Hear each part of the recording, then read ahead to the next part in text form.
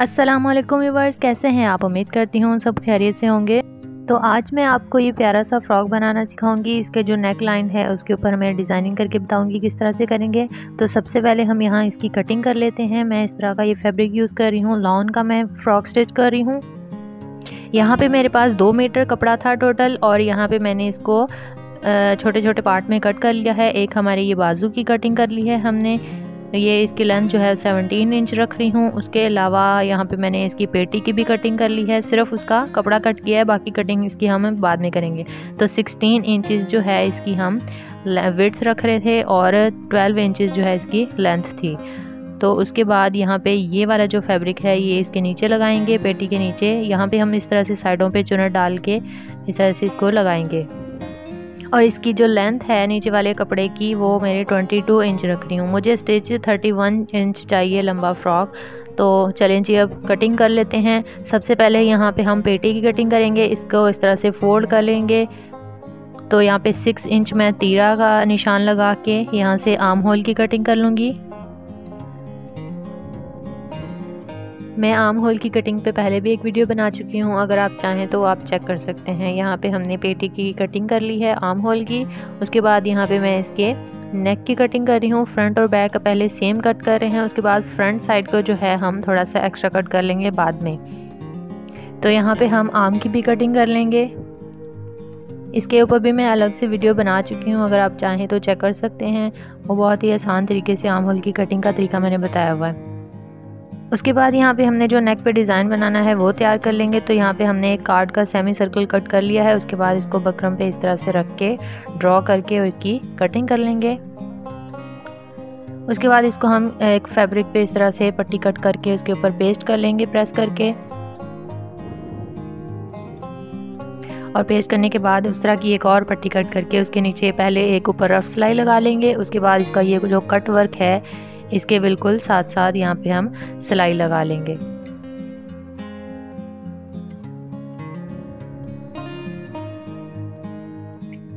तो इसकी सिलाइयाँ लगाने के बाद हम इसका जो एक्स्ट्रा फैब्रिक आगे बच रहा है वो कट कर लेंगे। उसके बाद फ्रंट साइड पे हम छोटे छोटे कट लगा लेंगे इस तरह से।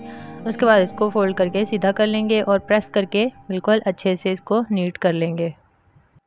उसके बाद यहाँ पे मैंने एक और बकरम का पीस लिया है तो यहाँ पे मैंने 3.5 इंच की जो विड्थ रखी है इसकी और 8 इंच इसकी लेंथ रखी है जो इसका हम ऊपर से डिज़ाइन बना रहे हैं। तो यहाँ पे इसको इस तरह से लाइन ड्रॉ करके इसकी कटिंग करनी है तो यहाँ से हमने इसको थोड़ा सा सर्कल शेप में कट करना है।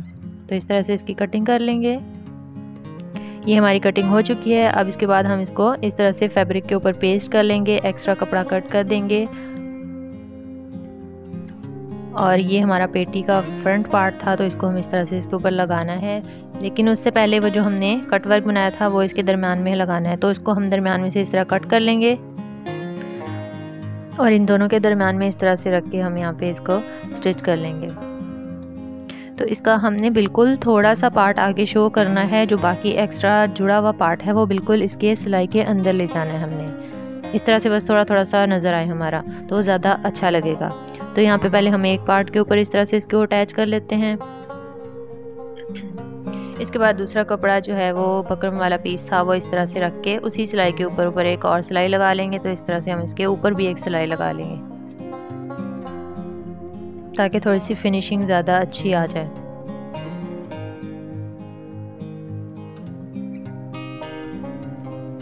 उसके बाद यहाँ पे हम साइडों पे छोटे छोटे कट लगाएँगे और उसको प्रेस से अंदर की साइड पे फोल्ड कर लेंगे। अब यहाँ पे हमने एक लेस यूज़ करनी है, इसके साइडों पे लगानी है। वो पार्ट मैं मिस कर गई हूँ, मुझसे रिकॉर्डिंग नहीं हो सकी। इस तरह से हम इसको लगा लेंगे। जब इस तरह से लगाएँगे तो हमने अंदर की साइड को लगाना है ताकि इसको फोल्ड करें तो वो बाहर खुद ब खुद चला जाए। इस तरह से लेस लगाने के बाद हम इसको पेटी के फ्रंट पार्ट पे इस तरह से ऊपर रख के इसको पिनअप कर लेंगे। इसको हमने उल्टी साइड पे रखना है। हमारी पेटी भी का पार्ट भी जो है वो उल्टा होना चाहिए और इसको भी हमने उल्टा रख के इस तरह से पिनअप करना है। तो यहाँ पे जब इस तरह से पिनअप करने के बाद हम इसकी ये सिलाई लगा के इसको पलटाएँगे तो वो खुद ब खुद सीधी साइड पर चला जाएगा। तो यहाँ पे हम सिलाई लगा के दरमियान वाला पार्ट कट कर लेंगे। उसके बाद छोटे छोटे से यहाँ पे भी कट लगा लेंगे ताकि इजी से पलटा जा सके। उसके बाद इसको हम सीधा कर लेंगे तो ये हमारा सीधी साइड पे आ जाएगा। अगर आप मेरे चैनल पर नए हैं तो आप मेरे चैनल को सब्सक्राइब कर सकते हैं और साथ में बेल आइकन को भी ऑल पे प्रेस कर लें ताकि आपको मेरी हर वीडियो का नोटिफिकेशन मिल जाए। और अगर आपको मेरी वीडियोज़ अच्छी लगें तो प्लीज़ लाइक कर दिया करें और अपने फ्रेंड के साथ भी शेयर कर दिया करें। तो यहाँ पे हमने पलटाने के बाद इसके ऊपर इस तरह से सिलाई लगा ली है। उसके बाद यहाँ पे हम साइड पे भी सिलाई लगा के इसको ऊपर फिक्स कर लेंगे। तो ये हमारा जो ऊपर वाला पार्ट है वो बन चुका है, पेटी हमारी रेडी हो चुकी है। अब यहाँ पे हम इसके नीचे जो है कपड़ा लगाएँगे। तो ये 16 इंचेस हमारी लेंथ थी टोटल पेटी की। तो यहाँ पे मैंने 4.5 इंच पे दोनों साइड पे निशान लगा लिया है। और नीचे जो हमने कपड़ा लगाना है, वो हमारा काफ़ी बड़ा सारा था। तो हमने इन निशानों के उसका भी मिड करके यहाँ पे हम हाफ़ पे इसके निशान लगा लेंगे।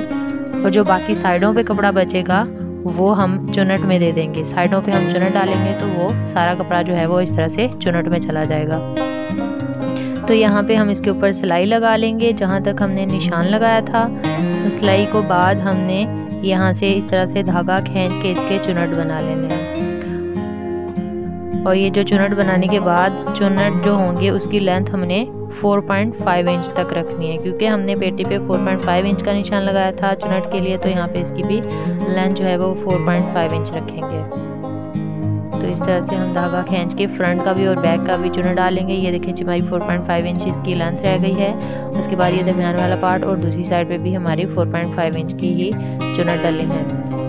अब इसको हम पेटी के साथ फ्रंट और बैक को अटैच कर लेंगे। लेकिन सबसे पहले हमने पेटी के ऊपर इस तरह से लेस लगानी है, जिस तरह से हमने गले पे लगाई थी, इसी तरह से ऊपर की साइड हमने करके लगानी है, क्योंकि हम जब इस तरह से स्टिच करके फोल्ड करके हम इसको पलटाएँगे तो वो खुद हमारा सीधी साइड पे आ जाएगा। उसके बाद यहाँ पे हम इसको पेटी से अटैच कर लेंगे फ्रंट और बैक दोनों सेम तरीके से अटैच करेंगे।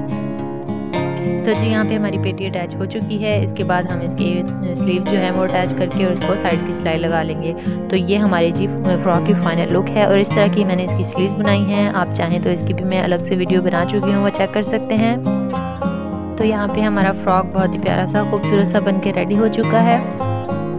अगर आपको मेरी वीडियो अच्छी लगी है तो प्लीज़ लाइक कर दें और कमेंट बॉक्स में मुझे फीडबैक ज़रूर दीजिएगा। चलें जी नेक्स्ट वीडियो में मुलाकात होगी, इंशाल्लाह न्यू आइडिया के साथ। तब तक के लिए अल्लाह हाफिज़।